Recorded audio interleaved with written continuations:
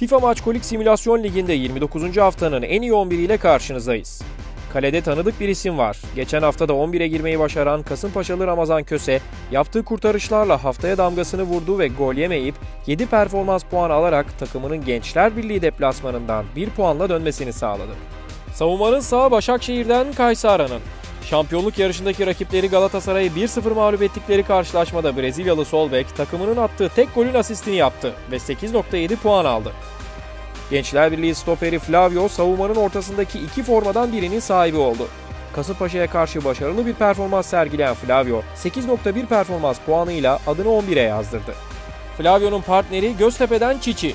Alanya Spor'la 1-1 berabere kaldıkları karşılaşmada takdir toplayan Çiçi 7.7 performans puanı aldı.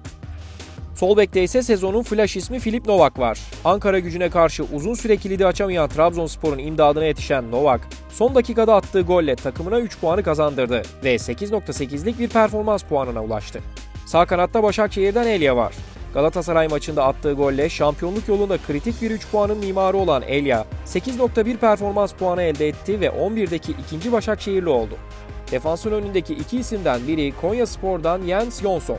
Beşiktaş'la 1-1 berabere kaldıkları karşılaşmada takımını öne geçiren golü atan Danimarkalı oyuncunun performans puanı 8.4. Orta ikilideki diğer isim Beşiktaş'ın tecrübeli oyuncusu Atiba. Önceki haftalarda attığı gollerle takımına destek olan Atiba bu hafta da Adem Laiç'e yaptığı asistle skora katkı sağladı 8.8 puanla haftanın 11'ine girmeyi başardı. Sol kanatta 9 haftalık aranın ardından takımına galibiyeti getiren Geri Rodriguez var. Yeni Malatya Spor'a karşı oynanan karşılaşmada attığı 2 golle 8.7 performans puanı yakalayan Rodriguez, takımının 3-2'lik galibiyetine büyük katkı yaptı. Hücuma dönük ofansif orta saha mevkiinde Sivas Spor'un yıldızı Mert Hakan Yandaş yer alıyor. Kayseri Spor'u 5-2 mağlup ettikleri karşılaşmada 2 golle yıldızlaşan Mert Hakan, 9.2 puanla haftanın oyuncusu oldu. Forvet'te Sivas Spor'un bir diğer yıldızı Mustafa Yatabare var.